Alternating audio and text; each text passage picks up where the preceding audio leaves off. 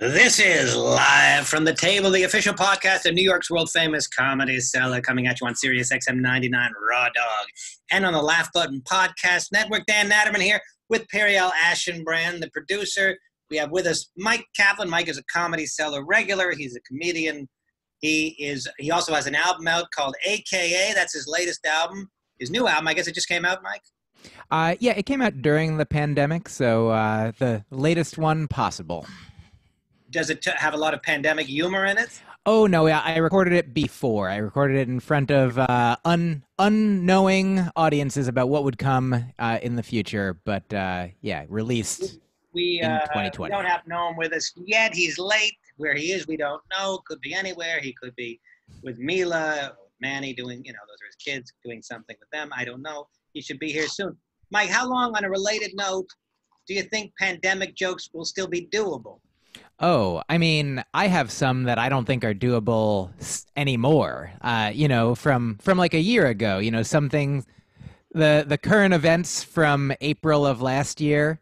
Uh, I think uh, had like a limited shelf life, though. Maybe I feel like it could be like a retrospective now. Be like you know, like what happened. I feel. I guess I have no idea what the future is going to hold, but I'm trying to get back to not just doing jokes about uh, being afraid and in a room not leaving. I, I have a joke uh, about the gyms being finally open in New York City, which is already outdated because they've been open for months. But the jokes, the joke still works for whatever reason. I guess I sell it. I don't know how much longer I can I can do it, but I think the the end is nigh as far as that joke is concerned. Oh yeah, I mean, I But think, more general jokes about the pandemic, a couple of years. I mean, it's a major event. You know, I mean, look, you, I, I mean, people tell jokes about, you know, I mean, Michael Jackson. I mean, that's a little stale, but they do it. oh yeah, well, Yeah, people do September 11th jokes, I guess. I mean, it's a significant thing in history, so I guess you'd be able to do it for, you know, depending on the joke.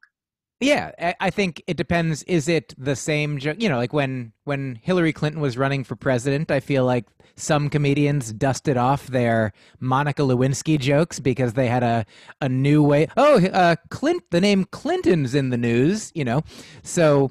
I think if you're if you're writing new jokes as as you are as most comedians are much of the time you can write a great new joke about uh, you know your your Jim Gaffigan joke about uh, seeing the movie Heat five years after everybody else did and uh, wanting to talk about it then. I feel like that could happen for any joke topic. You know, you'd be like, oh wow, I just came up with a great one about the Truman Show. Like it. If it's it's all about you know you and how connected you are to it, it doesn't. Ha- you don't only have to tell jokes about what's happening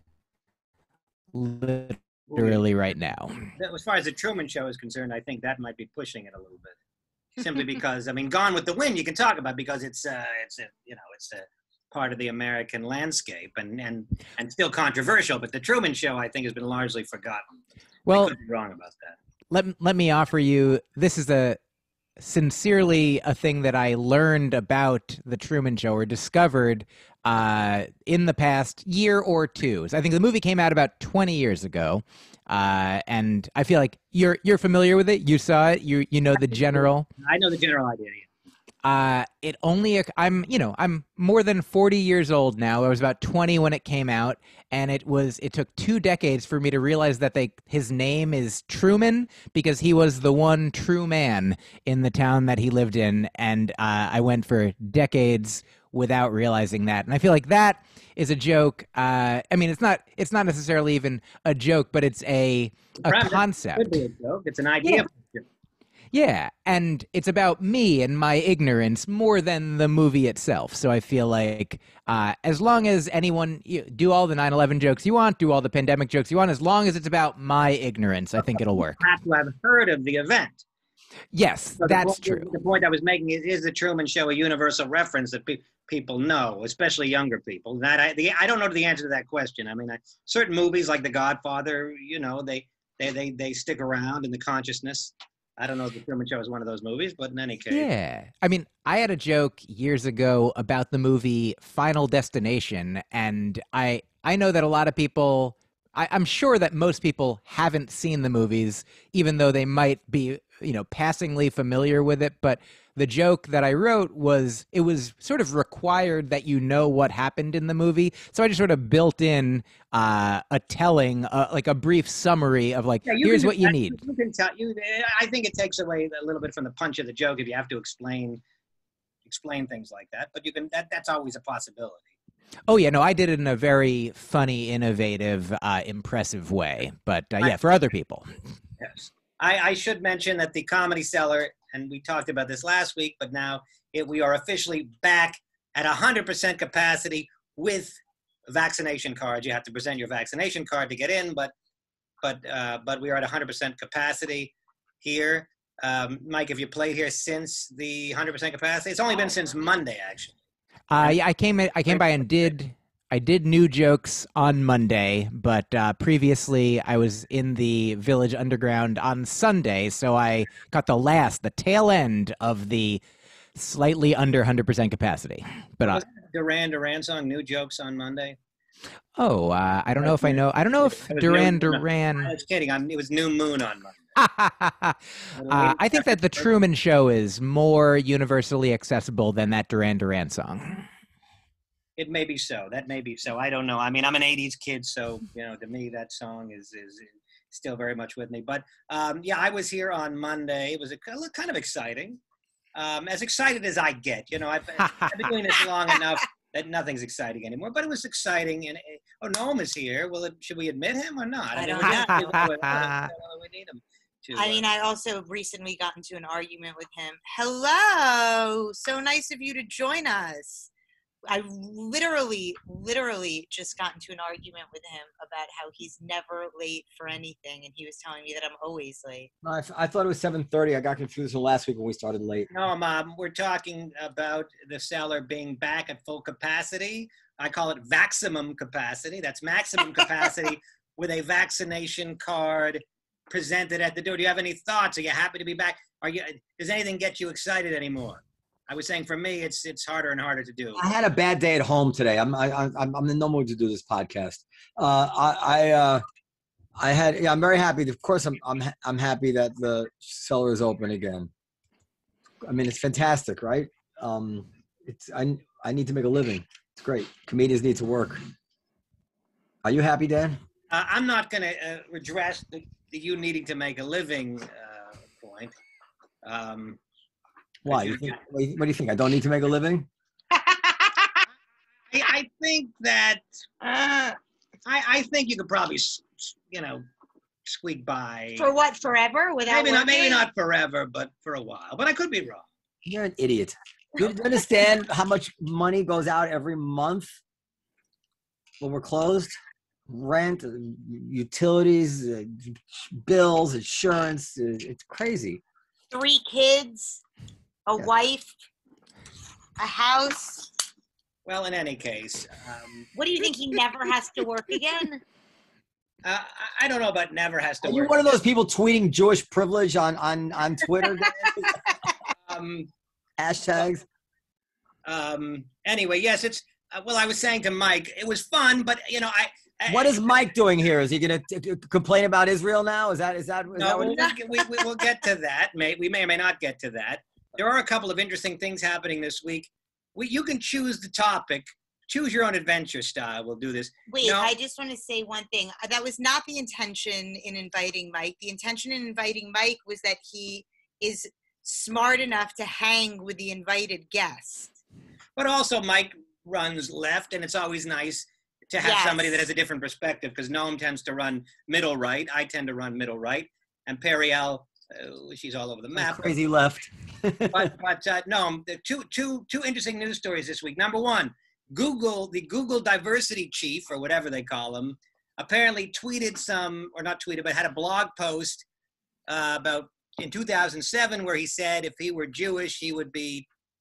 Well, I, I had. Do you have the? Do you have the uh, the, the talking points? Because Sure. like he said the Jews were war were warlike people or something, right? No, that's not a direct quote, but that's Not a that's direct quote? I'm That's a reasonable, uh, a reasonable uh, paraphrase. Let's The other story is a valedictorian in Texas was going to do a valedictorian speech that was pre-approved. They had, she had to get her speech approved by the school officials, and at the last minute, she substituted a speech about the new uh, anti-abortion law in Texas. So those are the two topics that. Well, let's take the first one. So he said, I'm looking. He says Jews have an insatiable appetite for war. All right, that was that was, that was pretty close. well, let, let me let me get the precise quote. Could you please call? Okay, That's his precise, precise quote. quote. was, "If I were a Jew, I would be concerned about my insatiable appetite for war and killing in defense of myself." So And he- insensitivity to people suffering. Yeah. Self-defense is undoubtedly an instinct, but I would be afraid of my increasing insensitivity to the suffering of others. My greatest torment would be that I've misinterpreted the identity offered by my history and transposed spiritual and human compassion with self-righteous impunity. And he also wrote that the Jewish experience with the Holocaust ought to have given rise to sympathy and compassion for the oppressed. So I don't know what the latest is, whether he's been fired or he's made an apology that he may or may not uh, be sincere. I don't know. Listen, this is the thing. I mean, the, the I know Myq's being um, Myq's being really quiet, but it's not surprising because you know I felt this way a long time. I mean, nothing's hundred percent, but isn't it? Isn't it? Is it a coincidence that a guy like that is a diversity chief? No, not not in my mind because so much of of what this is is not about um uh you know the the this is the world that we'd like to live in where everybody's treated the same a lot of what is uh, dressed up as intersectionality and equal rights and all that stuff is is just you know racist hate and resentment. And it's and it's put in a trojan horse package of of righteousness as if we're just trying to do right. But if you if you look at the, the you know the basic anti-racism tracts I mean, they're they're filled with the idea that it's okay to judge people by the color of their skin. And so, and once you've normalized treating people by the color of their skin, of course, people be, just become extremely comfortable with anti-Semitism. Like, what you know, once once just like, I mean, people are going to say, believe me, I'm not offended as a white person. As a matter of fact, I think all the Jews here, even Myq Kaplan, will agree. We don't feel white. We don't have any allegiance to, to white people. We're offended that they want to lump us in as white, but you know when, when it's so normal that white people this white people that and karen and and just you know and just talking bad and white males and blah blah blah you know all of it you just normalize the whole idea that it's okay to judge people by their immutable characteristics. So then why not the jews? I mean why why wh- wh- wh- you, we've already broken any principle opposition to bigotry right? I mean there's no what's the principle what's the principle against bigotry Myq, you must have something to say about that. Uh, Oh well, uh, I'm. I guess I, I'm against bigotry and uh, the uh, the I what's I don't really understand the question of what's the principle.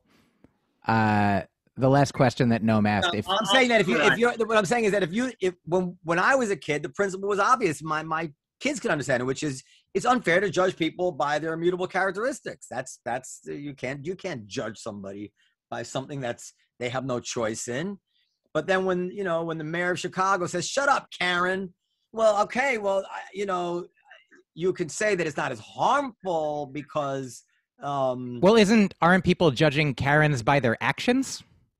No, she she just she just used it as a as an all-purpose slur against a, a white person who disagreed with her. Oh, but but action. origin but I think the original meaning of a Karen was somebody who was like a white lady unreasonably calling the cops on a black person. That's like taking an action. So the name Karen was given for an action. I'm not saying that I would do it or that it's the right thing to if- do. it's as if I took uh, OJ, who was a murderer, and started calling black people OJs. I mean, you you can't. But I mean, whatever the original thing of Karen was, it, it became it's it's become very socially acceptable to just bash groups. Uh, Like I said, it, it the the there is no principle anymore. The principle went from it's wrong to judge people by the color of their skin to it's wrong to judge certain people by the color of their skin. And then you heard the argument. As a matter of fact, if you're not white, you can't be racist. You've heard that argument, meaning that you're. What does that mean? So it means that you're entitled to judge people. It's you're morally you're morally uh, exempt. You can you can ju- you can hate people because of the color of their skin. I, I actually don't You're think that that's You're not a racist. no. I think that when people say that you can't be racist if you're not white, It's that their definition of racism is that racism is prejudice plus power, which means that the pa- if the power is lacking, then you cannot be prejudiced plus power. But it is not that you cannot be No, hateful. I, totally, I totally reject that because I've, I've heard that. I mean, you're being accurate about what they're saying. First of all, so you reject that- my accuracy? no, I'm telling you what I reject. I, I rejected that it's sincere, not in not that you're being sincere, but when they say it is sincere, because first of all, that's not the definition of racism. But second of all, what you don't hear them say is, yes, that is a foul person right there. I wouldn't call them racist because they're not in power. Nevertheless, they're disgusting. In other words, it, it doesn't just become a, a, a semantic thing. Well, it's not quite racism, but it's it's still racial hate or whatever you want to say. They use it to exempt. I was like, well, if, I- if I were to complain about, did you hear what that? My wife's Indian. Did you hear what that brown person said about the Jews? And I say that's racist. They, they will say, well, no, she that can't be racist. They won't say, yeah, that's horrible what she said. I don't think you're using the right word, but that's fucking disgusting that she would say such a thing about somebody based on the color of their skin. They don't say that. Well, I'm don't sure that. who the They they is that they you're do- talking about. Anybody, anybody's, I've never heard anybody say that argument that you're referring to. Not once did they ever follow that argument with, but by the way, you're absolutely right. That was a disgusting thing to say. They never, it always is used as a total forgiveness of the foul. I don't have another word but racism. You know, if, they want, if they want to redefine it, then they have to leave me with a word to describe what it is when a homeless person kicks the shit out of a Jewish person and they want to say, well, that wasn't uh, because, and said, you dumb fucking Jew when he's doing it. And you say, well, that's not racism. Okay, if you want to tell me it's not racism, then just tell me what it is. You know, I, I don't know. No, no, I'm um, Professor Gersen is here, but I, I wanted to ask you. I wanted to ask you. Uh, okay, so this man in 2007 made a blog post saying what he said. This uh, Google diversity guy.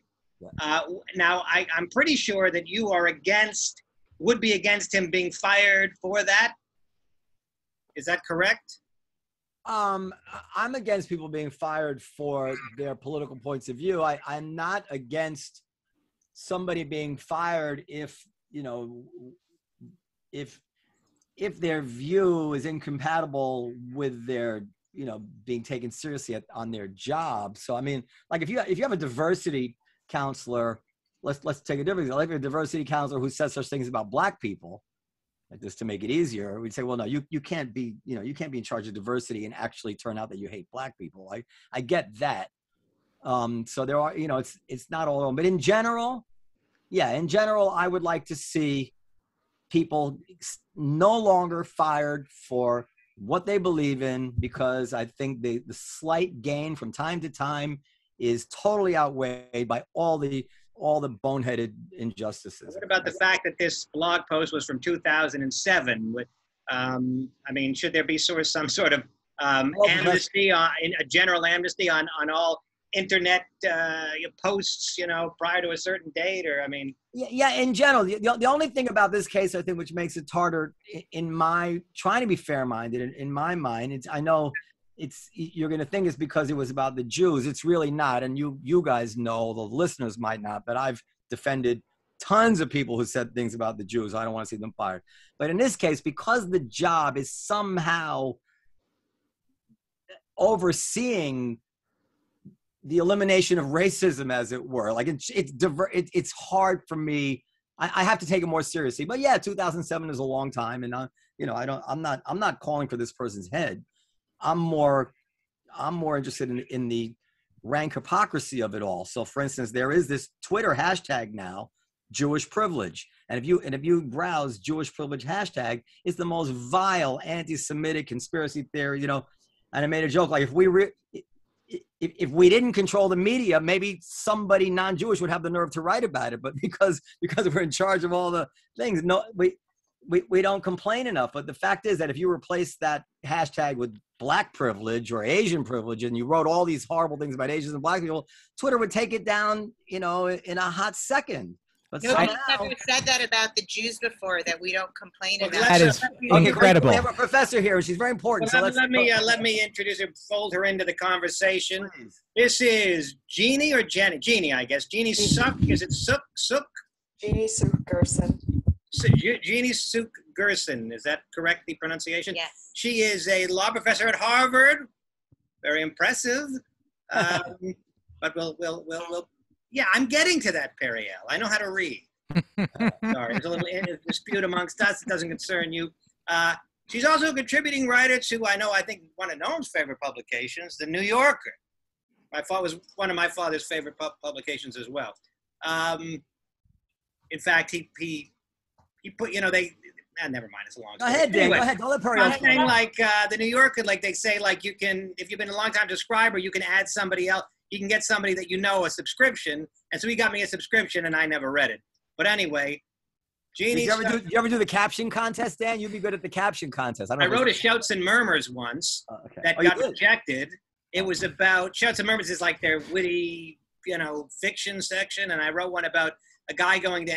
I kind of don't remember it that well, but I think it was a guy going to heaven, and the official language there was Spanish, um, something like that. That doesn't sound like fiction. Yeah. All right, say, go ahead, Dan. Finish your introduction. Yeah, I'm, the introduction is finished. So, so So- Jeannie, Jeannie, we were talking obviously about this guy Kamau Bobb, I believe his name was, that tweeted or not tweeted rather, but this was I guess prior to Twitter, 2007 or right around the time Twitter came out. He had a blog post saying that the Jews are uh, warmongers or whatever. They're calling for his head anyway. I don't know if you want to continue that discussion, Noam, or if you want to uh, Maybe we, we can circle back to to it. something else. So I, I was very, um, I was very taken with an article that Professor Gersen had written about the Chauvin case a few weeks ago. But now we're so far away from the Chauvin case. I, I, I do have only one question I want to ask you about Chauvin. Then I want, then I'd like to ask you about the politics of bad sex, if that's okay. Okay. It's okay. So on the Chauvin case, leaving aside all of it, can you explain to us, because I've been having some debates, what is the difference between but for causation, which um, uh, would, you know just means that if it wasn't for this, this wouldn't have happened. I think that's and Mhm. and the standard in the Chauvin case, which was a um, um, substantial factor. Is that the, is that what it was? Substantial factor. What does substantial factor mean in causation? So, but for is, I think that's pretty intuitive, right? Right. But for this, it wouldn't have happened. But Um, for my parents having had sex, I would not exist. Correct. Therefore, your parents are liable for anything that any crime you commit under the but for rule. Yes, that's right. But generally, for legal causation, for something to be considered caused by something in the law, you have to have both but for causation and something that we generally call proximate causation um, or legal causation. So, um, so in in the state in which this uh, crime took place, um, you do have to have but for causation, but you also have to show, um, and, and in that state, they call it substantial factor, um, which means that it doesn't have to be the only factor, but that it, it's something that contributed substantially to something coming about. So that's what is meant by substantial factor. And I, I think it, that too seems pretty intuitive in that the pressing of the knee on um, the neck of George Floyd um, was substan- was a substantial factor. It contributed. But it- Does To it the death. If I could just jump in, does it also have to be foreseeable? In other words, if I invite Noam to my house, he has an accident on the way over. Uh, that's a pretty substantial factor that he got into the accident that I invited him to my house. But obviously, there's no crime. So, so uh, it, it seemed to me that foreseeability or, or intention uh, would have to be included in Right. So yes, um, it can't be just completely out of the blue. Like there's there's no connection. That but reasonable foreseeability is is one of the things that goes into the idea that something is a substantial factor. So it um, it's true that if someone comes over to you invite someone over to your house and they get into an accident, you didn't do anything wrong right? Because you didn't have any intent or you didn't have any recklessness or negligence or any kind of like guilty mental state with respect to somebody getting into an accident. But here in in the Derek Chauvin case, um, there was there was uh, some amount of recklessness or negligence in using the knee on the neck. So there, it wasn't like it was a completely innocent state of mind, even if you don't have to prove necessarily that the intent was to kill. Okay, but this So is where reasonable foreseeability is the is the is the is the factor that I was getting at. so so this is where I'm really confused because I've heard it described in exactly the opposite way. I've I, I, I spoke to a law professor who has a friend of mine who who laid it out for me actually just as you have just now. But then, for instance, I think Lara Bazelon was on our our, our podcast and she described the substantial factor as being a less rigorous test than but for. And then I so I looked it up for instance. Right. Well, so for instance, in um, I, I, and some some things I looked up online says the substantial factor test. Sometimes a plaintiff, a plaintiff would likely have gotten injured regardless of the defendant's actions, and then also um, it gives um, an example of uh, uh, uh, this is in a Cornell I think law review article. It says um, classic example. Of, well, so there's a there's a I'm trying to rush and I'm not being clear, but there's a kind of a classic hypothetical in law school where like if a, if a firing squad everybody fires on one person and you can't you can't trace who who actually shot the bullet that killed somebody so would you let them all off right because you can't prove it and it says some courts however have tried to solve the problem uh, related to but for cause some courts use a substantial factor test which states that as long as the defendant's actions were a substantial factor in a crime, then the defendant would be found guilty. So in the firing squad example, all the members of the firing squad, all of the members would be found guilty. However, this test creates a problem. So, so what this seems, as I read those things, it seems like a workaround to the but for test. So like when we're really not sure we have but for causation, we have this substantial factor test. So is that just a difference between civil and criminal law there? So in general, uh, usually, usually you have to have both but for and the other kind of causation that sometimes is called proximate cause. Sometimes people call it reasonable foreseeability. Sometimes people call it uh, substantial factor or legal causation. And it's the the latter one. It's it's just more nebulous. Often, what I the way I think of it is just it's a way of it's like a placeholder concept for our moral intuitions about who is responsible so at the end of the day you can parse it and have all these hypotheticals about you know about 10 people shooting at someone at the same time and all of that and but at the end of the day when you see what courts do what juries do it really traces to their moral intuitions about who is responsible for the result and so, more than these technical kinds of hypotheticals, I think what's more predictive of whether causation is going to be found is whether people think this person is morally responsible for the death. And ultimately, that's that's what it, it tends to track. Right. So I that that sounds now you're now what you're saying now is closer to what the feeling that I've been getting.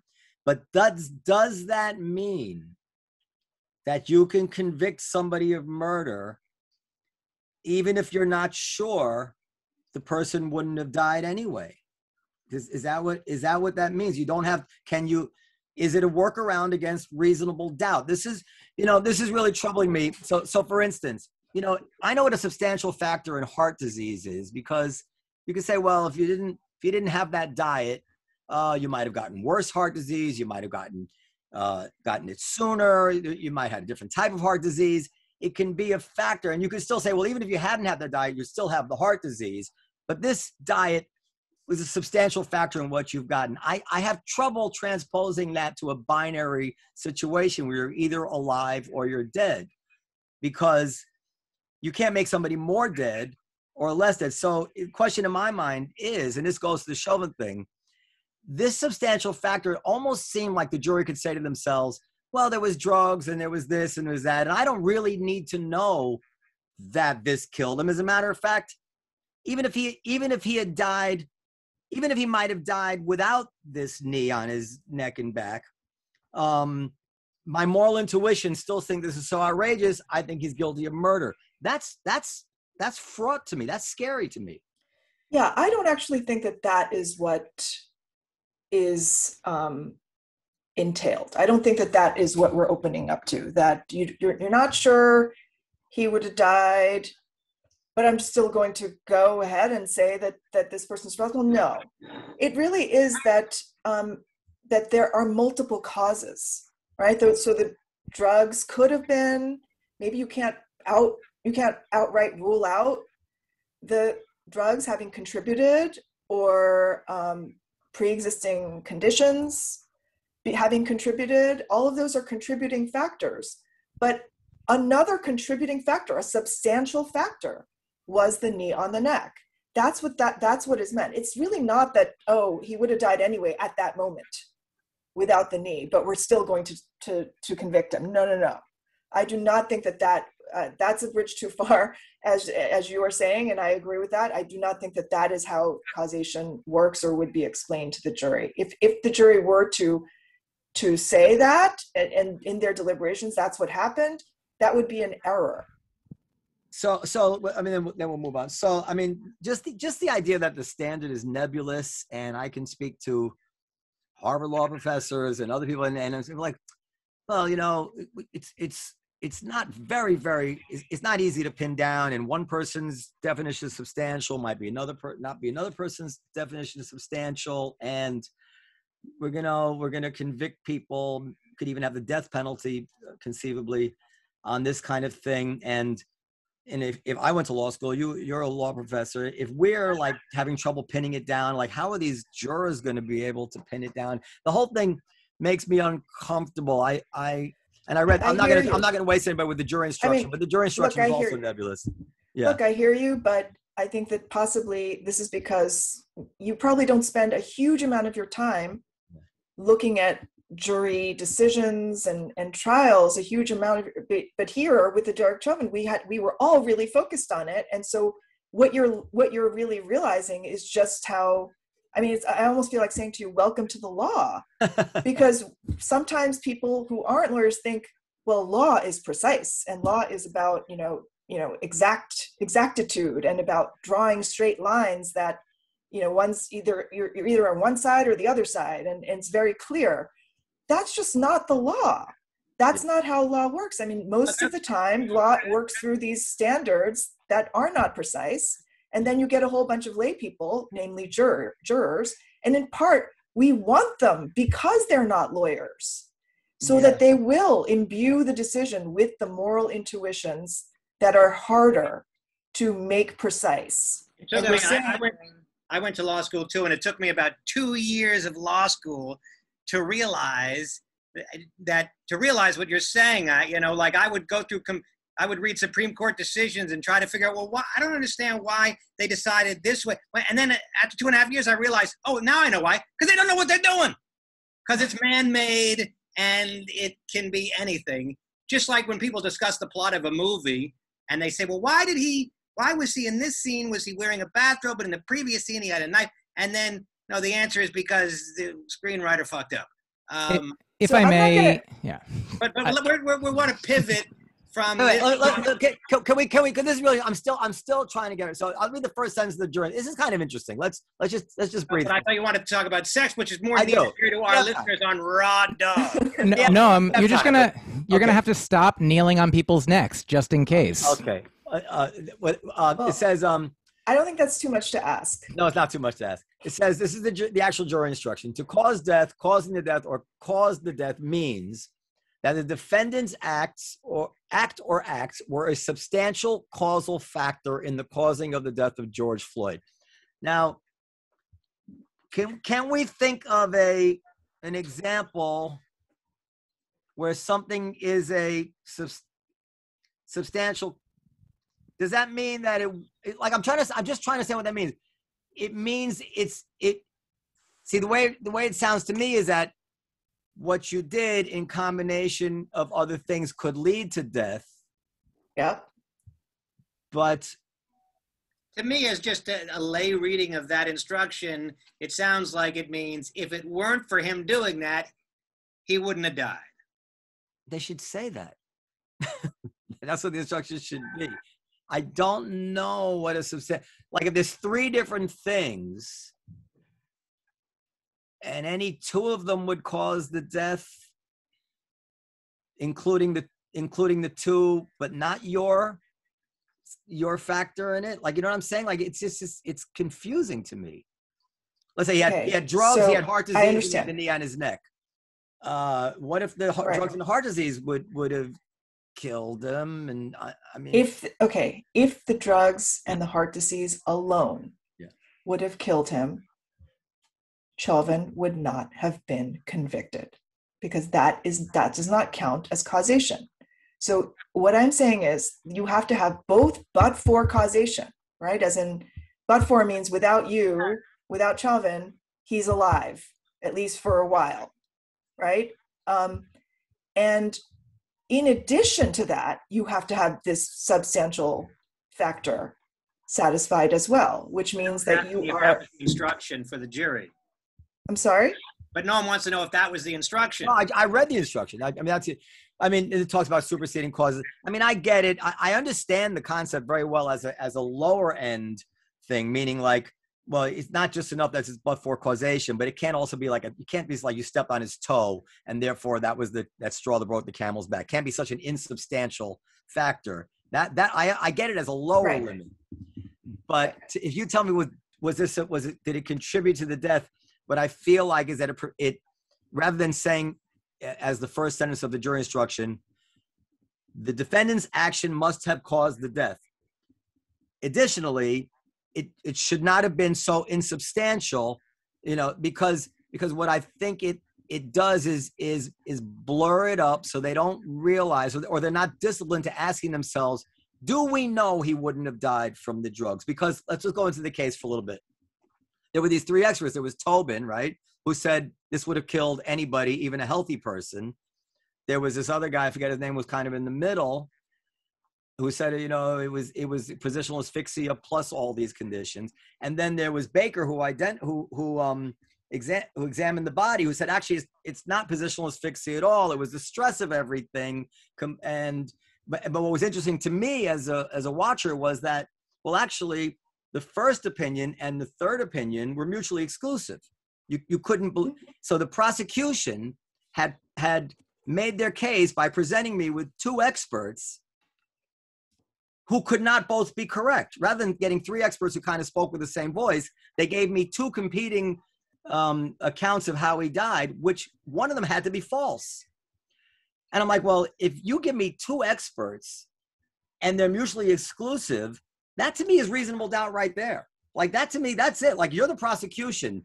If you're if you are if you're going to tell me that that your expert can disagree diametrically with your other expert, but I'm supposed to still think you've proved this beyond a reasonable doubt, I'm like, well, no, that's not the way the mind normally works. If I go to two doctors and they give me two completely opposite opinions, I don't, I can't say that either of them is correct. I might, I might have my gut feelings, We can't have but you have to prove it. And like if they had gone to Baker and said, who said, you know, there was a, there was a could have been a lethal amount of fentanyl. He just found it was um, much less likely. That that was the word he used, much less likely. If if if, if that guy Nelson had had the courage to say to Baker, listen, how do you know he didn't die of fentanyl overdose? Baker, I believe, would have had to say, well, I don't really know that. It just really seems really unlikely to me. And really unlikely to me does not seem like proof beyond a reasonable doubt. I find his, I mean, I'm happy the guy is uh, in jail and, I'm, and I hope justice was done, but something about this causation thing is, is just been bothering me and bothering me. I don't know. What do you, what do you think, Professor? It seems like if you had been on the jury, you might have been the reason that the jury hung. Not if I, not if I But, lived in Minnesota. If I lived in Minnesota, I would have, I would have said but guilty. the, but you know i i have to say I, I guess i disagree with you i just i i think you know it, i think there's a good reason that 12 people unanimously thought you know that they're that to them they watched the video they heard the experts and um what you're saying about the conflict the potential tensions between the prosecution experts sure that could happen but there is nothing wrong with pre- presenting alternate theories of how something happened. That happens all the time in trials. It may be a bad strategy because, like you're saying, a jury may not buy it. They it may confound them, and, th- and they may get confused or think, "Wait, if the prosecution can't even get its story straight, how likely is it that they are correct?" And that could be a reason to introduce reasonable doubt. But that is not logically necessarily a reason to vote to acquit because you could say they presented two theories i buy one of them i don't buy the other one. And this ultimately you're trying to get at the truth. You're trying to get the jury to have their own account of how it happened. You can offer multiple possibilities. Yeah, well, and that does sometimes happen that, I that get the that. prosecution says you know it could have happened this way or it could have happened that way. I, I get that, and and I would say that um, the jury certainly can decide to buy one or the other, especially in matters that they can bring their common sense, judgment, and experience to. Not so much in two scientists. I think to me, I, li- like zooming out for a second, I would just say, okay, that's the prosecution. If they couldn't find two experts to say the exact same thing, I have to worry. Some something is going on there. If I if I if I have a medical ailment and I go to four different doctors and I can't get two doctors say no no Mr. Dworman it's definitely this. well If that was- happens a if I lot of the like, time No, I, And- I they, that But that, they're all telling you you're gonna die. You're gonna die. yes, but that's not that right. happens all the time that you're like you might have celiac disease or you might be having a stroke or you might you know and, but the bottom line is your symptoms are your symptoms and you're feeling bad But they have yes, but but here they have to prove beyond a reasonable doubt the causation. So it can't be so you have you can't just be like I'm happy with either theory. Ah, right, You have the to problem- say the issue is is the doubt it sounds like you have doubt and the question is is your doubt reasonable and the jury probably thought look there are some doubts here and probably raised some of the issues and they thought well but the doubt is it's not reasonable You have unreasonable doubts, Noam. I, Uh, I mean, can- I think if this was if this was a more sympathetic defendant, people would see my argument with a lot. That's more correct. Sympathy. i, I think agree with you a lot of Yeah, if agree, a lot of politics. you but If they had a of the- defendant who hadn't knelt on a guy's neck, yeah. Yes, with a video that looked absolutely gruesome and brutal. And the bottom line is that is why we have juries to bring their common sense Yeah. of the matter into it and listen to the experts, but not completely defer to them. Noam, Well, let's, uh, no, it's can we, like, you know, pivot? I, I try to be as objective as I can possibly be, like just forgetting everything about the politics, everything, like everything about the issue, because you're supposed to do that. We're not supposed to bring any of that into the, the quorum. And I'm saying that when when when one medical expert has a mutually exclusive opinion to the other medical expert, and by the way, the one we don't believe is the one who actually ident who actually examined the body and does it for a living, and the one we're going to go with is the one who never even saw the body. Um, that's a troubling. That is a troubling uh, uh, outcome to me. I mean, like just as, as a law as a law school hypothetical. Just to summarize, Maybe you should. Yeah. I mean, I'm, I'm. Maybe they'll be calling you for for consultation on the No, I appeal. I listen, I, I, I'm happy he's in jail. He, I mean, he. If he if he if he wasn't actually responsible for this guy's dying, it's not for lack of trying. I mean, this guy's got his knee on his on his back or in his neck, and long after anybody can make any argument for wanting him to have his knee on his back. His partner even said, "Hey, shouldn't you let him uh, turn over?" So if he didn't kill him, it's only because he's the luckiest guy in the world, and and Chauvin died of a of a drug overdose or something. Uh, now some- you're really sounding like any doubt there that would be unreasonable. No, because anyway, because let's- no. Listen, let me. I'll tell you. This is the, so you know that Sicknick case. That guy, the guy sick Nick who died. Yeah. So Sicknick for those who. going even deeper into the weeds here. No, no, this is really interesting because this is a very important example. sex bureaucracy. Okay, just last thing. So Sicknick is this guy who was a um, federal uh, police officer, whatever you call it, trooper, and uh, he was first the these he died the day after the January sixth insurrection riot, whatever you want to call it.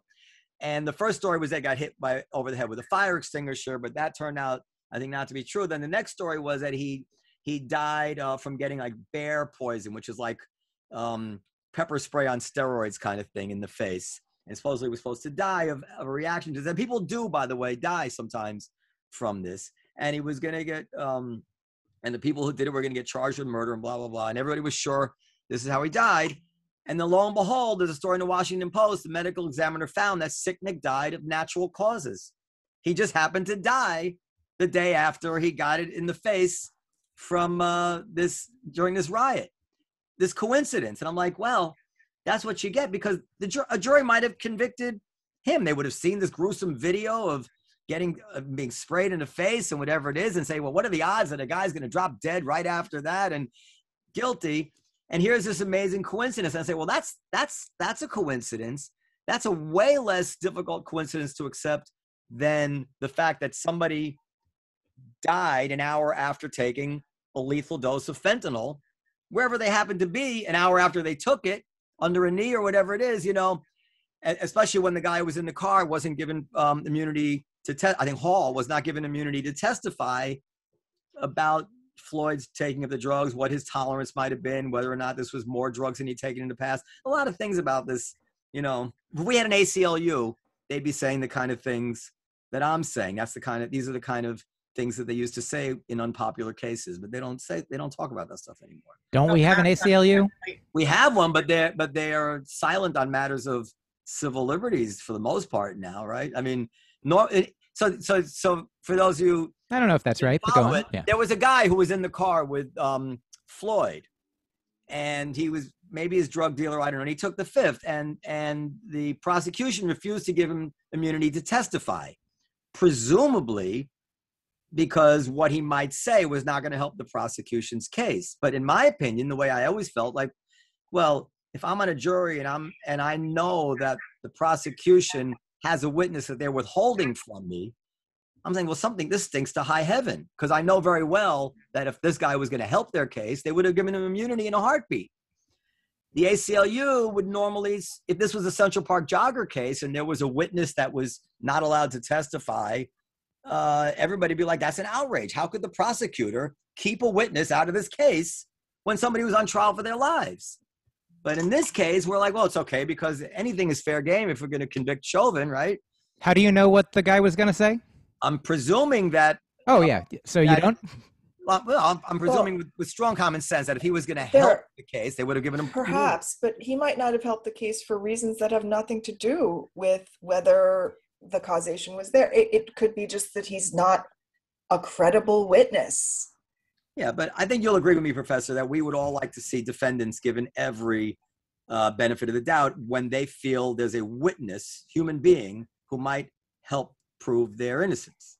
You know, I mean, that's that's a big they're, thing. They're big given thing a reasonable doubt. Yeah. They're given no, a it's a very big doubt. thing. It's a very, very, very big thing, almost un-American in a way, even though I know it's done and legal to tell tell somebody on trial for their life, listen, yes, I know you want that guy to, to say what they saw. Well, the defendant could have called you. the defendant could have called that witness. I, anyway, I, uh, we they did. He took the fifth, I thought. Anyway, okay, yeah. Uh, I don't know. I know we said an hour, but if yes. you just give us just a wee bit longer, because we did get a little bit sidetracked. By the way, before the show, Noam literally said, "I don't want to talk about Chauvin." I, I uh, can't help because because I'm so happy to have a, a smart law professor, you know, and I, I, I like to you know test my my my my dumb thoughts. So okay, the politics of sex. and you still said that though. You knew she was a smart law professor, well, and you were okay. still like Periel. Okay, Periel. Periel. So, so this no, is this is up your alley. Sexual bureaucracy. The professor wrote a, an article. I think the gist of it. She'll tell us, but the gist is that um, some of these laws regarding uh, the way sex is supposed to operate, sexual laws and like social norms and consent and all that, just don't really match up to the way real human beings, the, the mating dance of real human beings. Is that correct?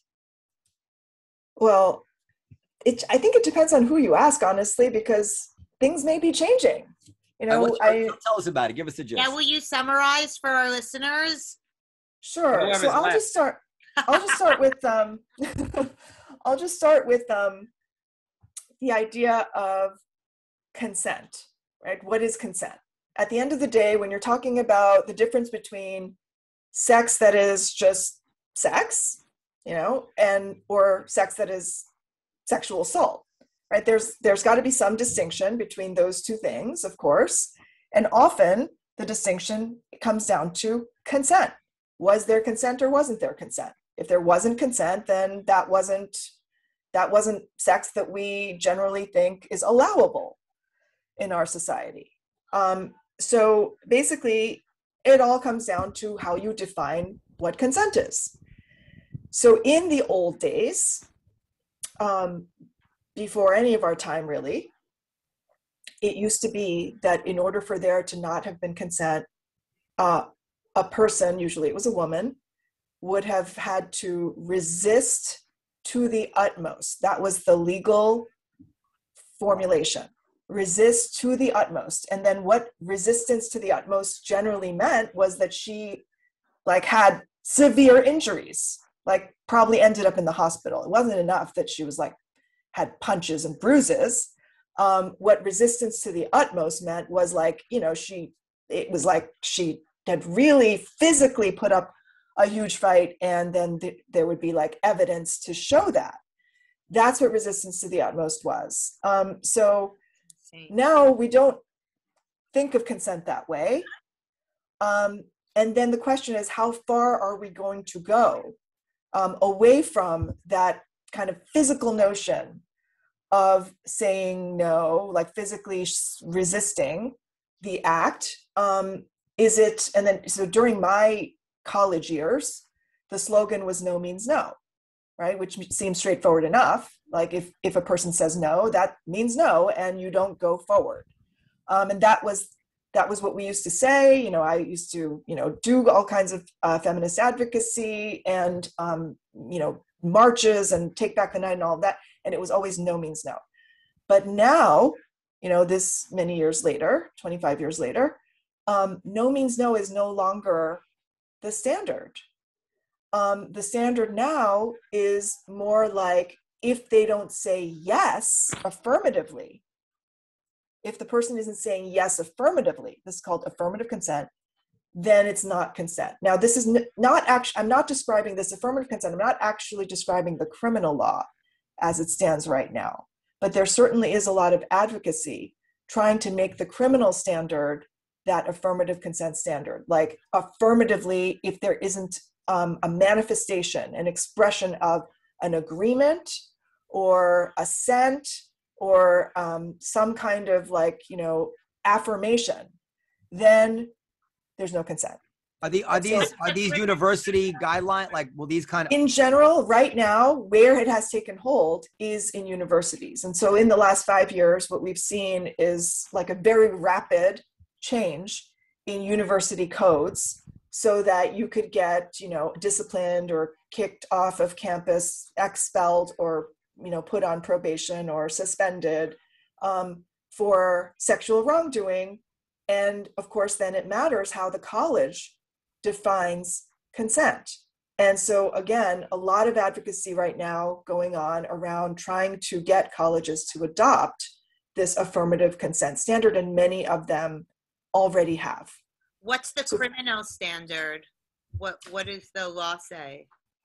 The criminal standard right now doesn't go to affirmative consent. Usually, uh, consent is um, it would it would be like some manifestation of no, like saying no, or um, obviously physically resisting would count, although that's not required.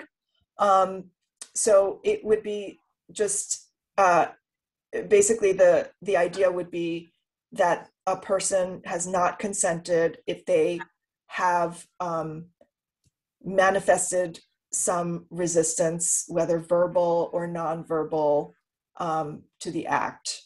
So, so Periel, let's, let's go around because I'm, I'm really curious what do you think about the idea that a man should ask permission? Can I kiss you? Can I do this? It's not. I have to break it to you. It's these standards do not apply only to men.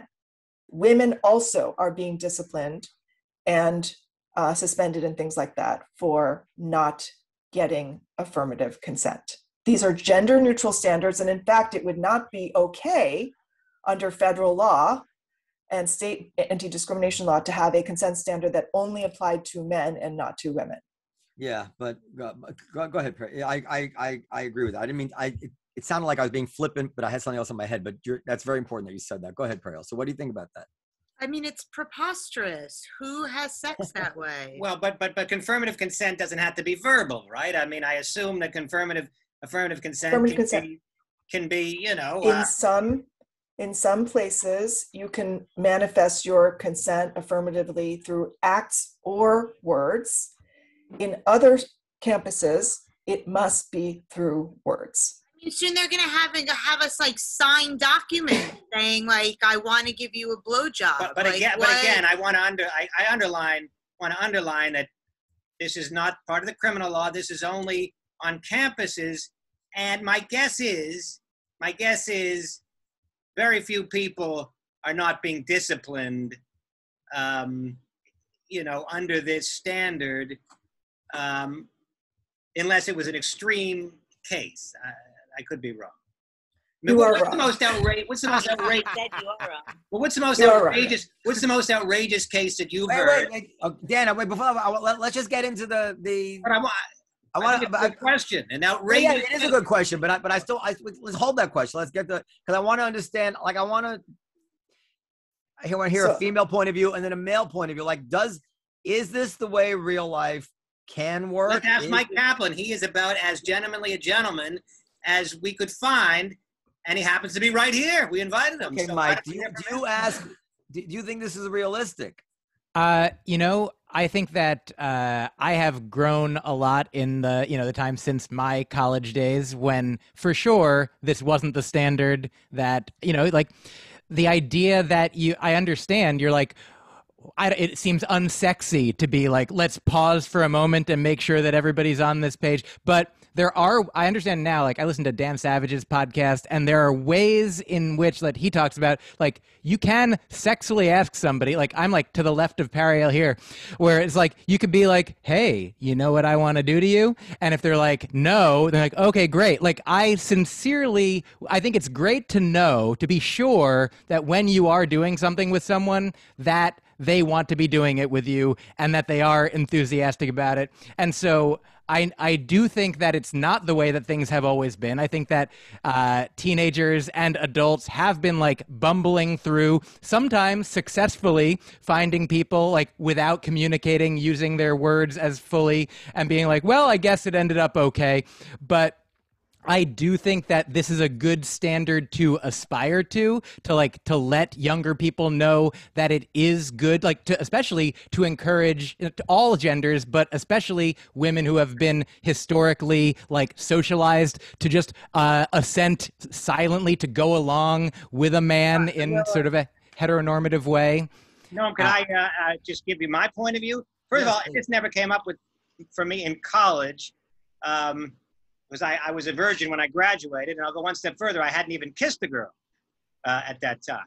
Very sad, but we'll but but we'll move on from that. But I Very respectful. well, not very respect. I mean, I wasn't even in a position where this would even an issue.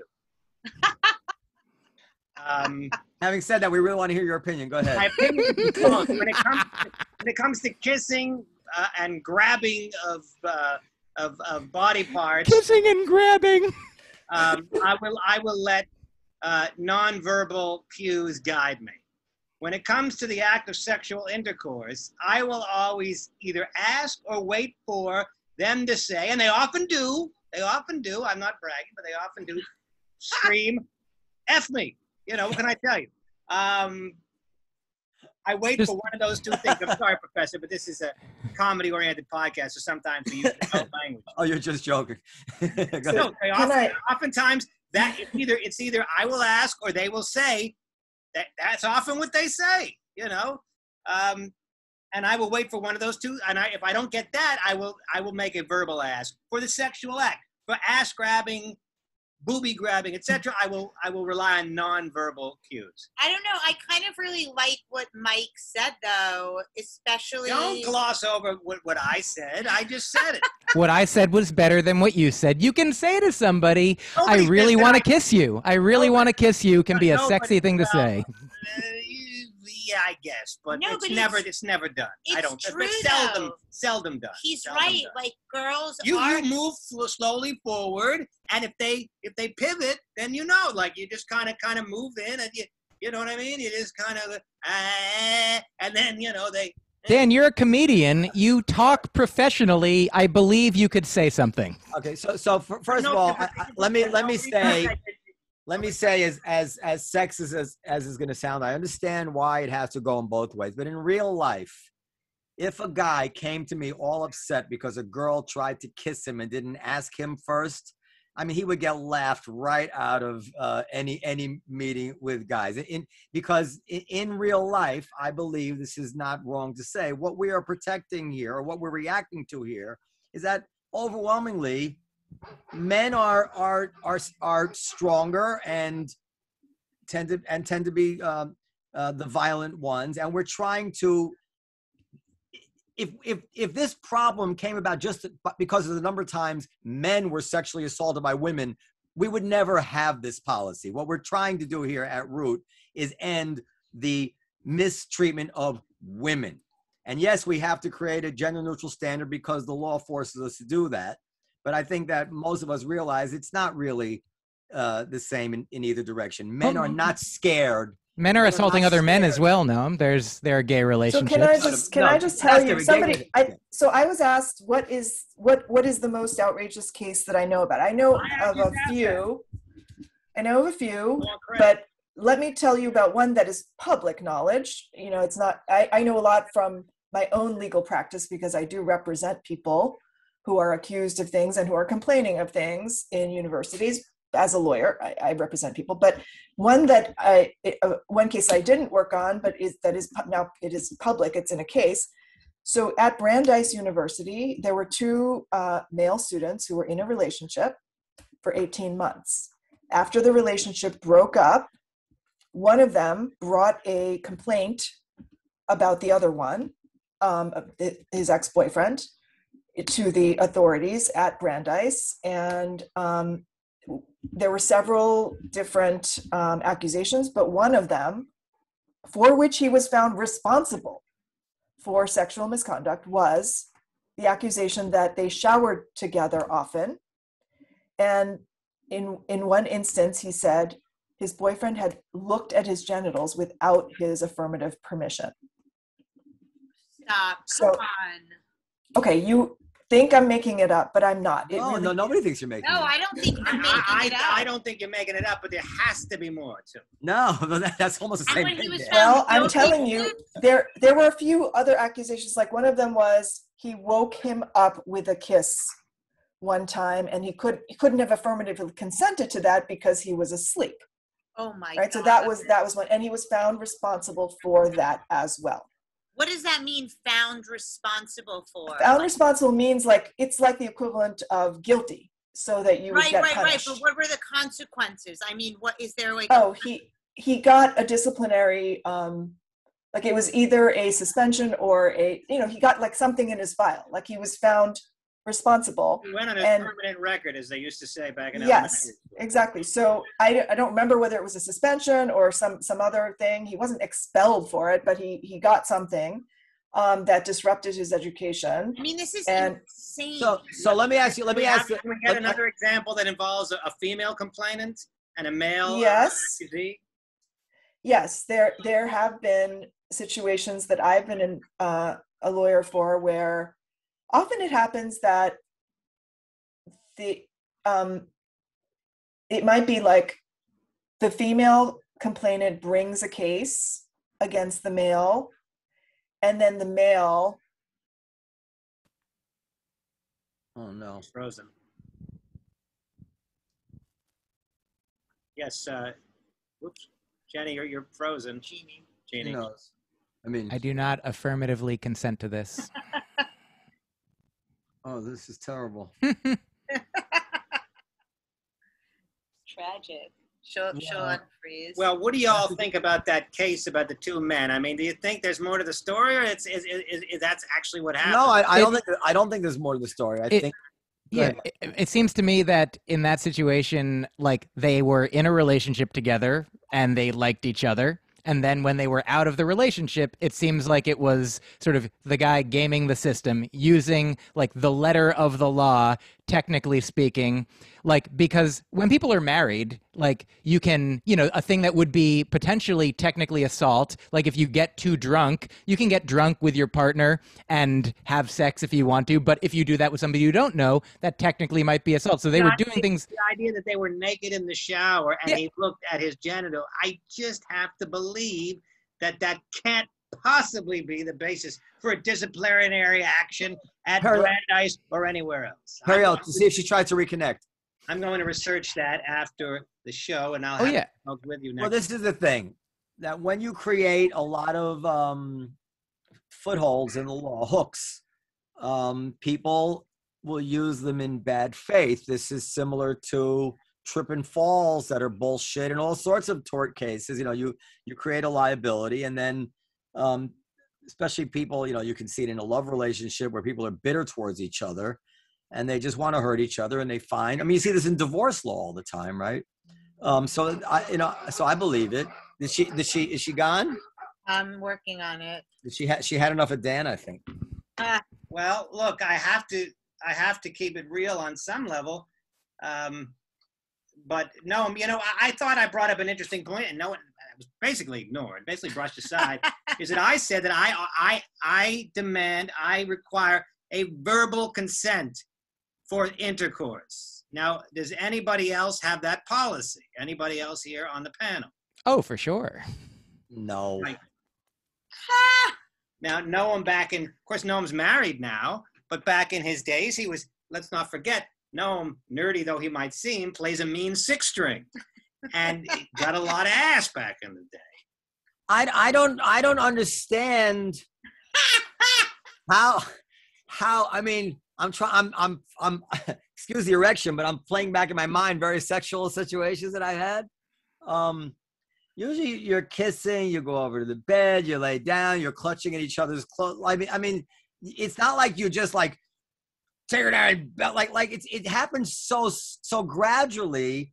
There's never any doubt. Okay, but wait Yeah, a but- but, uh, be that as it may, and you may have, I'm not saying you're wrong. I'm saying for me, for me, I need some sort of verbal why? assent. Why? Because you want to make sure. I want to make double, Right. triple sure. Wait. So here's the thing. No, you know, Where's the professor? Where's Professor she Gersen? said she couldn't take you anymore. Oh, she didn't say that. Where is she? She's She- coming back? She found you insufferable. No, I don't know where she is. I'm trying to get her back. Look, I hope I she wasn't messed- offended by anything I said. But we No. are talking Oh, about no, she froze. She had a No, technical she problem. froze. She'll come back. we back. are I talking just about human maybe we are talking about human sexuality and sometimes adult language will be used in that context. No, she's fine. She's great. I this love is her no let's take her no for an answer the thing is Noam is that you're not taking you're you're i'm you know assuming that you know you've never been in a situation where you're doing something to somebody that they don't want done right so you're not allowing that possibility even into the scenario which is why it seems so absurd to you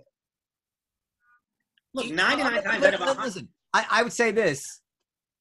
The actual intercourse is usually the least the least ambiguous part of the interaction. In other words, it's the steps that come before that where you're actually taking the, where you're where you're, where you're m- more unsure. Like the initial kiss, that is a very unsure thing. Like you like you hope that she's receptive, but you know that you could you can miscalculate on the initial kiss. sexual act has a particular both legal and psychological um, weight to it.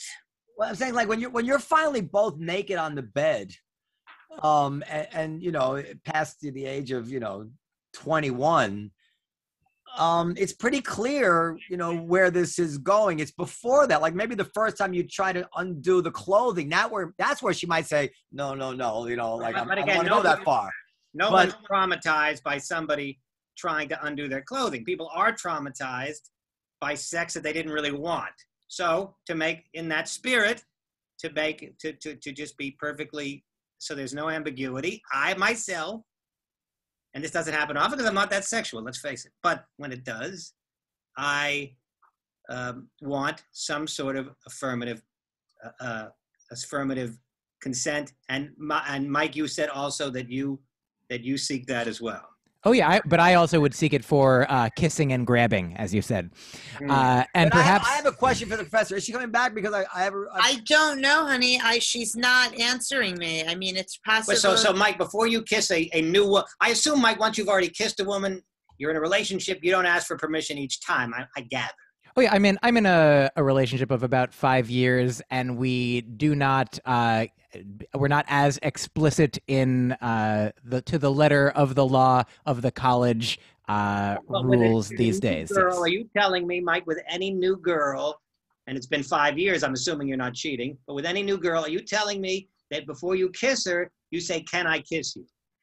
Uh, late, I, I would say. I mean, in the more recent years of my life, I would be more likely to do that. Yes. There's something about what Myq's saying though that really resonates with me, which is young women are not historically taught, and young girls when they're first starting to hook up with people, they are sort of, you know, you just go along with it, right? Like you're just sort of pushed along into this thing. So I think the teaching them to speak out and teaching tell you, young I- men My experience with women is they have no problem speaking out. I I, uh, you know, I, I remember I heard a story. Beat it, but maybe that's just me. There, there are stories I've heard of like, you know, teenagers, uh, you know, teenagers having sex where they're both kind of not communicating about it. I don't think that, I don't think that, uh, people are the best communicators in general about sexual things. Like, I don't think that everyone gets a great sex education. I don't think that it's uh, taught well. Like, I, I think there's great resources out there, but, you know, this, society is so sex negative and sort of sex phobic that people are like ah you'll just you'll figure it out it'll be fine you just you just feel it out you feel Yeah. around like Well, you you'll get it you'll know but that's not so Well, Yeah, sex education, right. when you talk about sex education, the mechanics of sex are easy enough. Are you talking about educating people on on being assertive? Yay. Thank goodness you're We're back. I'm back. So sorry about that. I don't know what happened. That's okay. Um. So what we we're, So what did you what did you conclude about affirmative consent? Well. I, I uh, know him, know him. I revisited my personal policy of, of, of uh, requiring or uh, uh, asking for some sort of uh, um, uh, uh, uh, like you're a flight attendant in an emergency row when, when it comes to intercourse, but not when it comes to generally speaking the preliminaries. Uh, Myq asks for permission even with the preliminaries, and no, don't give a damn. He just go in and do it. And I've revised my position because I, I think that it's good to teach younger kids that they, you know, should use their voices and say what's okay and not okay. That's another argument, though. well, yeah. I don't know, but I, but I also do think it's not that. I'm not really sure that's the way that people have sex with each other. You know, like in a You're- natural you're- setting. You're, you're, but you're bringing up two separate. Well, look. Can, can I Do can you I think say? it'll change? Do you think it will about change that people will have sex that way, like over time, the more we talk about it this way? i do what do you Uh, think? What what what's your position? But I, I still want to hear an outrageous story about a woman that complained about a guy, uh, you know, doing something without. Uh, um, Periel, will you complain about dan real quick Do do you have do you have a, a story that comes to mind, Professor? Yes, I mean, it, I I have had I have known of cases where um, a, I'm a man felt a, college a college student felt that um, he had tried to break up with the girlfriend, and the girlfriend uh, didn't want to break up, and you know, and you know started to. Uh, engage in sexual acts you know namely go down on him and um and he he felt that this was uh he had not affirmatively consented and so and he felt violated now is that an outrageous story or is that just you know that's what That is affirmative Well, that's consent not- is? beyond outrageous. that's well, that is that is Oh, yeah, outrageous. it is. yeah. But it's You not feel what I, it's I was outrageous. about it. A What? Wait, story- you feel it's outrageous to complain for the guy to complain What to he the got like a start to finish blowjob, and then he complained that he didn't want it. Right. Right. Yeah, no. Well, uh like, sorry, that doesn't go like that. So so If she started to do it and he pushed her away, like, okay, that's a different story. But if they had like an entire session in which she performed fellatio on him and he, I'll be polite, you know, finished, right. and then he Well, complained. he had to have finished. He had to have finished for you to be outraged. he had to have finished for me to and then to complain about it is what i'm saying would be outrageous It's, outra- it's outrageous, even if he pushed her away. All right. Pe- so it. so listen. So, so let me so let me no, just ask. you're misunderstanding Hold I on. understand I- we you know we got you. well. You're, you're on, saying if he finished, he has no right to complain. I'm Hold thinking on. he has no right to complain under any circumstances. Hold on. Myq, what do you think? So Uh, th- thank you, thank you for asking. I, I have a personal story that sort of related and uh, touches on something that Noam was talking about earlier too, sort of complaining about like the binary nature of these things. Like it's not necessarily as binary as like somebody did something wrong and somebody did something uh, re- like who is correct. Like when I was when I was in college, I was working at a summer camp and I was hooking up with a woman who I'd like hooked up with a couple times, but we we hadn't had sex and we were like just fooling around and like in like a very swift move. She like uh pulled my shorts off and like i had never had sex from like behind before. And i that she just like made it happen without a condom. And it happened real fast. And i it felt good. But i afterwards was like that was not the my favorite way for things to go.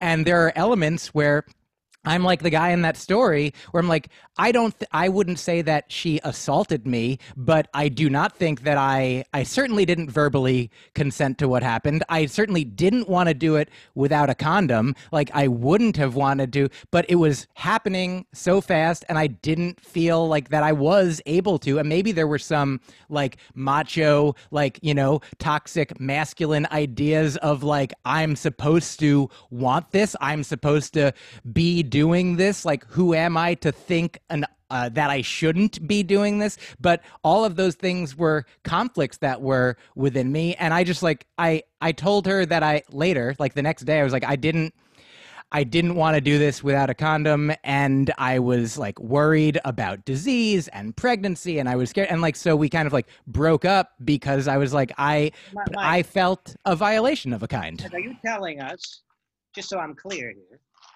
that she forced you to have sex with, to, to do her from behind? Uh, essentially, uh, I I wouldn't use the word force, It's but not she forced. it was not it. consensual. It was Yeah. not consensual in the sense of affirmative consent or really even I mean it was just it it happened silently without you saying yes or no. And under today's affirmative consent standards, if you felt violated and you went and complained, yes, she would have technically violated the rules and it in fact it wasn't it wasn't wanted. I mean the, the I'm standard often in out colleges how- is did you want it? The wantedness, guy the is- welcomeness is an an important concept these days. And so, are the rest of you saying that you don't think that such a claim should be vindicated? Well, you know my position with regard Uh, to how I okay. operate. I'm very, very clear that I want This- consent, this- but I don't understand how a woman makes a guy do it from behind. I mean, you Yeah, I th- mechanically listen, this is this is a couple things. Well, things. he's telling you that that happened. It's not like forcible, but it was not consensual. Yeah, Well, I'm I just was asking, behind her, Dan, and uh, you were have to be- participating. certain motions. I'm not saying that I wasn't participating. So then, so then, so then you. So, so this is the thing. There's a few things I, I'm, I'm I'm trying to get in here. First of all, at some point you have to take responsibility for your own actions. You, if you're participating in a sexual act, you're participating in a sexual act. Number one. Number two, not everything that happens between couples needs an institution of law or order or university to, to adjudicate. We definitely need uh, someone to step in when some when a crime is committed, when somebody is forced to do something, whatever it is. We don't necessarily need that when somebody makes an error of judgment that they regret the next day. And uh, number three, a lot of these cases, at least maybe just because they're the most interesting ones to listen to, maybe not actually the ones that matter, sound like you know sour grapes between people who have long relationships and maybe there's some bitterness and resentment and they're kind of marshaling the law or whatever you know whatever procedures they can to get even with um, each other in the same way people throw the kitchen sink at each other in divorce court and stuff like that and accuse each other of all kinds of horrible things. So these would be my worries. But here's another question I have is in, in, in, most cases we're like first and most primary worried about the, the, the terrible times that people have been forced to have sex, right? But the thing is, if you're forced and somebody asks you for consent, I've always wondered this. Are you really going to say no if you're scared? Like, like how much, how much more does it get you? Like, if you're scared, a man's overpowering you, whatever it is, if, if, if, how much more is the question gonna change your answer if you feel this tremendous intimidation or pressure to have sex? I've always wondered about that. Oh, it, it's still bad to assault people, even if you ask them for consent. That's and No, you I mean, scare them into course, giving you're- it. you're- no, you're. I hope you're not. I hope you're just kidding. Of course, it's terrible to assault people, but I'm wondering. Well, if- an important part of this, I would say, think- I'm just wondering in real life, what what what is what's being accomplished No. here? Yeah. Is is it is that actually protecting people? That's what I'm wondering. Right, right. No, I think I think you know I, I hear what you're saying. I think you're saying if we have an affirmative consent standard and we're and we're not going to consider it consent unless you say yes, is it actually going to do anything to prevent sexual assault? In that, do we really think people who are intimidated and feeling like there's a huge power dynamic or like they're they're scared? Are they really going to be able to speak up at that moment? I mean, is it going to prevent sexual assault? Really? I think that that is a fair question. Yeah, for sure. I mean, I really wonder. Wait, wait, Perry, let me let me say one more thing to follow up with that. I'll hold that thought. So, because as a dad, I have a daughter, and as I and I as I weigh all these things, and obviously, whatever anybody must think about me, you must know I don't want my daughter to ever have any kind of trauma. Uh, I want her to have a happy and healthy sex life without trauma. just your daughter, though. And and I think that the most important thing for that is is going to be us teaching her to speak up for herself and not feel pressured to to say no, to not get herself into because that seems to be there seems to be either it's an actual physical intimidation or just a psychological pressure that women seem to to buckle under, which men may have trouble understanding, but it's clearly real because you hear enough stories to know that it's real. And to somehow to raise our daughters to not feel that they have to do this because i don't think if she has that feeling if the guy says can i she's Yeah. still going to feel like she has to say yes even you know and then and then he's going to be able to say you see she said yes Yeah. I mean, Yeah, it's sure. you know, it's it's difficult for me to wholeheartedly agree with Noam on anything, but I really do think that that that's the thing what he just said. I mean, I really do think that teaching girls that they don't have to do things that they don't want to do, that they don't feel pressure to do things because the guy wants to do it or the guy's going to like them more or whoever they're with is going to like them more but I really do. I mean, I've had sexual experiences in the past where I've been like, oh, I kind of wish I didn't do that or whatever, or I kind of wish that. But it's like you you can't then take that and turn it around and you know file a complaint with like my university. I mean, how the hell was he supposed to know that you know I sort of wish that like I didn't give that you know blowjob or But is- whatever Is, it it is. really possible to teach people? To, I guess Yes. can be done. But to teach people to assert themselves. I mean, Yeah. I don't assert myself. How many times have I done a gig? I, they say, "Can you do ten minutes for free for this charity?"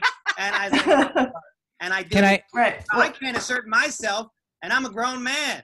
I, I think it, that's why it's also important to teach men and to teach all the genders, like to teach men to Is it Not to- teachable, or is to- it just something that's an innate part of your no, no, personality? you're right you're right Myq. You're right you're right.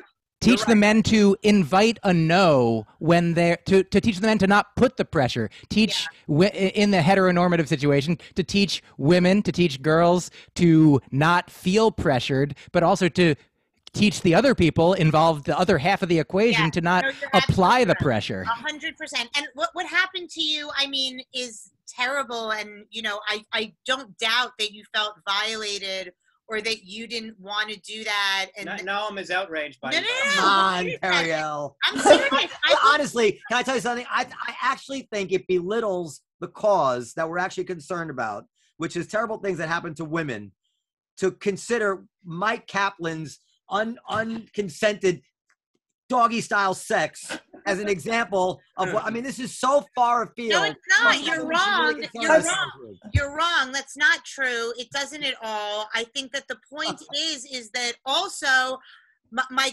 my thought is that like you know I'm guessing you guys were teenagers or something like that. Girl also probably didn't really know for exactly why we're saying is because you didn't say anything, right? And you didn't feel like you could say anything. Yes, So- so I. anyway, so let me let's we got to wrap it up. Let's, me leave you with one thought, and I get the professor. Well, I mean, we, we we are we are verging in the law. No, I'm you're silencing me. Please I'm go on. go ahead, go ahead. Oh no no no! I, I'm that So- I'm so- I'm a comedian. Please continue. We're, I'm I'm I'm I'm uh, figuratively giving it to you in the ass right now. Uh, I oh, consent. Sorry, sorry. We'll cut that out, Professor. Um, uh, no, no. We we seem to be getting into the law, the, the- moving with the law into areas where we're really not sure uh, if human nature will not have the upper hand. Like, in other words, we are, there is a certain programmed mating dance in every male. There are certain cues and things, and it's quite unlikely, no matter what we say or do, that we're going to really reprogram what humans have found hot in sexual situations, including the two people look at each other's eyes and are overcome with passion and and and and and unite. Similarly, and I don't I I don't know what the answer is. This we have all these rules now against um, you know romances in the workplace.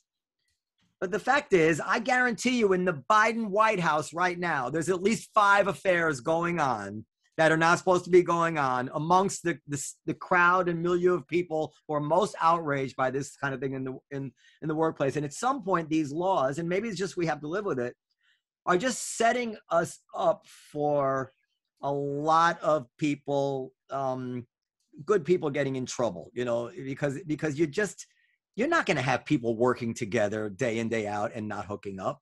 You're just not going to have it. It's just not going to happen, no matter how much you make it illegal. And like like Bill Gates was accused, he asked this girl out, and she said no, and he said, "Well, just forget it ever happened."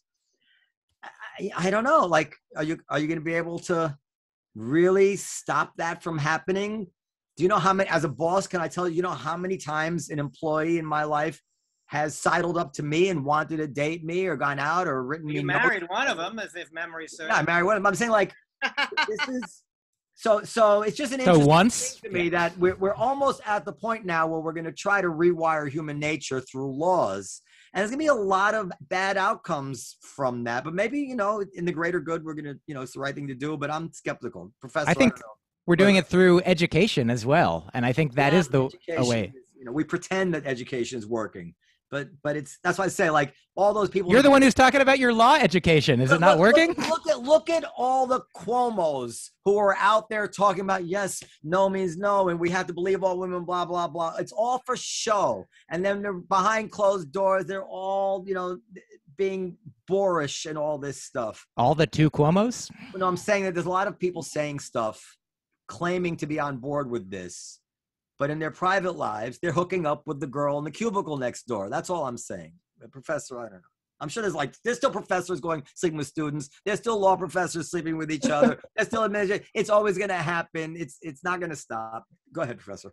So a few years ago at my school, we did have this debate about whether we needed to make it actually against the rules to for professors and students, any teacher and any any student of any kind, you know, even if they're not your student, um, to make that just against the rules. And we, you know, we had a big contentious debate about it, and and the school did ultimately vote to make that illegal at our school. So what Um, no professor can sleep with any student of any yeah or date or have any kind of romantic interaction with What any student a grad student that's doesn't matter doesn't matter it could be a student who's, who's older than you it could be like a 10th year phd student doesn't matter um, but y- y- we're not that's not uh, no longer allowed Um, but you know, some a lot of people in in my profession did marry their students at one time.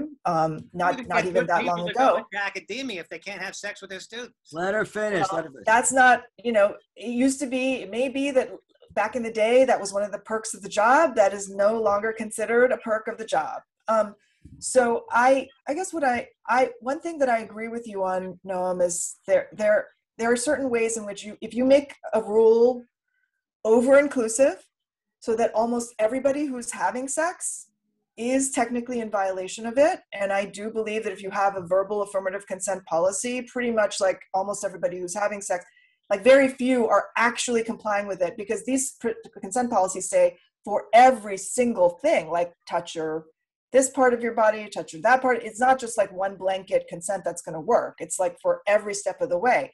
People aren't really doing that. It, it'd be the rare couple that's actually doing that. So then what that means is everybody is violating but not everybody's going to get in trouble. Right. You said a lot of people no, only a few select people will get in trouble. And what I worry about is the impact on people who are already marginalized or already um, like seen as suspect, you know, people of color or men of color or, you know, like immigrants or people who don't, or, you know, people who might have like, you know, Asperger's or, um, you know, don't read social cues right or whatever, you know, so it's just, it's not that all of us are going to get in trouble. It's that only a few of us are and that selection is probably going to have some systematic bias against people who already are pretty disadvantaged in a university setting and that's what i worry Here, about here. And by the way, you, you touched on something. Maybe another time to have another conversation about it. But it's like a pet, uh, a pet thing of mine. I always think about it is that these people who don't read social cues in life, which I believe is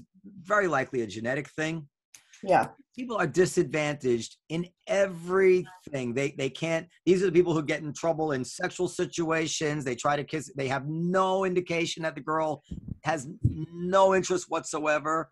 Where another guy who can read social cues just never gets in trouble because he, he doesn't try to kiss a girl unless it's he's correct that she wants to kiss him back. And these people innocently go around trying to be happy, trying to engage with and but in every aspect of their lives, people who can't read social cues are tremendously disadvantaged and get the, and get in trouble all the time. And I would also say that I think I think I would have voted that the professors cannot have sex with students. I think that's that one Yeah. I would say is is correct. it's Professor common just- sense i think Yeah, yeah. It's it's you know if if it's that bad, then one of you needs to drop out. You know, but or just wait or just wait. Yeah, wait Well, till they graduate Four Waiting is- years? waiting is not realistic. Nobody can wait. Don't you know nobody can wait? Have you ever been, have you ever been in a relationship where you tried to wait? It doesn't yes work. It doesn't work. the answer is yes It doesn't work. And what we most and, and well, go ahead. I mean, just if everybody would just deal in good faith too, like in all these things. I'm as a we said this when you got um, cut off, but like on a restaurant, and what happens is a law which is well intended, like people who are negligent should be responsible for the injuries that happen from the negligence. As a restaurant owner, you know, 90 times out of 100, they're just ways for somebody to try to get money from me or get me in trouble or get even with me or, or uh, get even because they were unhappy with something, you know, because bad faith ruins everything. And, and it's kind of what I'm reading in some of these sexual cases. Like, it's not that we don't want people who are abused to have recourse. It's that when you hear all these stories about couples that he, you know, somebody I've been showering with for years, all of a sudden he looked at my genitals and now we're getting the law involved. It's like, you know, this is just Not the law, the campus uh, bureaucracy. well, and and you know, and perhaps he would want the law to be able to get involved if possible. I'm going. I'm going to research that story about the. You can't have a good thing if you don't have people. Um, when I say good thing, I mean a positive thing for society. If people are not acting in good faith, Anyway, we should end there, Noam. Uh, unless anybody else has something that they're burning to say. I, I, I will just add one thing. I mean, bad faith, good faith, yes, but sometimes I think that there's a whole other hour we could do on the idea that sometimes people don't always know exactly what they want in the moment. yes, And then afterwards, they know a little better that what that they didn't want it in the moment. It wasn't as clear to them in the Well, moment. they so I think wanted it in the moment, and then when the moment is over, they. But that's bad best but that's bad faith. I mean that's bad faith. But i guess what i'm saying is there's there's just sometimes there's ambivalence around sexuality all around and you don't quite know what you want. And Myq in the experience you had maybe it was clear to you in the moment that you didn't want it. Maybe it wasn't that clear. And um and so i think that just the idea of that there's this clear cut distinction between good faith and bad faith can also be you know it, it, I, I doubt that sometimes that it's you you know that there's confusion Right. and then you have these rules that you can fall back on Right, but if there's confusion, let's, uh, then you can't just turn around and go back and like blame that other person then either, right? That doesn't seem entirely fair either. it, it may not be fair but it may be that you're you're you know the way human minds work it may be that like you weren't sure in the moment but then as time goes on you become more convinced Right. sincerely sincerely not in bad faith sincerely convinced that you were violated Uh, uh, Absolutely. So, uh, uh, 'cause Very interesting.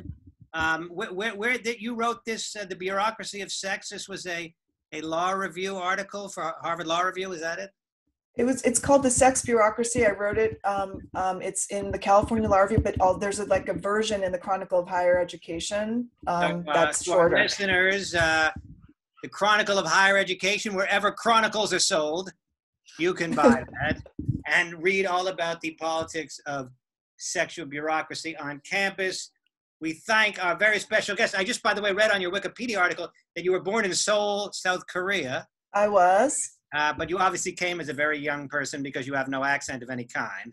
I came when I was six years old and spent a year in Youngstown, Ohio, which is where I, I got my completely neutral American accent. Oh, that's as undiverse a place as I can think of. Uh, thank you so much for coming, Professor Gersen. Yeah, I'm sorry. Can I? I'll leave you with this. Uh, Camille Paglia, who I know is a very controversial figure in feminist circles, but she's a, a, a provocative writer. She said something. She said, "Sex is a dark, dangerous force of nature," and I think that's exactly right. And, and so everything that you're saying about this ambivalence and ambiguity and regrets and good faith, bad faith is it's all true. It's all true in various times. The only thing that I, I'm going to call bullshit on is the fact that Myq Kaplan was actually abused. oh, come on. If you if it had just been you were on the bottom, I could have given it to you, Myq. You know, we But being in being back, being in control of the event, I'm sorry, I'm laughing you out of Dworman Court. Okay, Professor Gersen, it was a pleasure to to meet and, you. of course, you are welcome to anytime you're in there to stop by and discuss this or other things with us in person. Myq Kaplan, I would love to have you at the Comedy Cellar, Professor. You, do you ever come to? I New would love it. Yes, I would love oh my it. God, Periel, hook Bye. it up. AKA is his latest and greatest Thank you, Dan. album. If I may just real quick also say, Noam, I hope that your home life improves. okay, thank you. And we will see you uh, uh, podcast at comedycellar.com for questions, comments, suggestions. See you next time. Bye bye. Bye Bye. Thank, Thank you you. so much, guys. Thank you. Thank you. Thank you.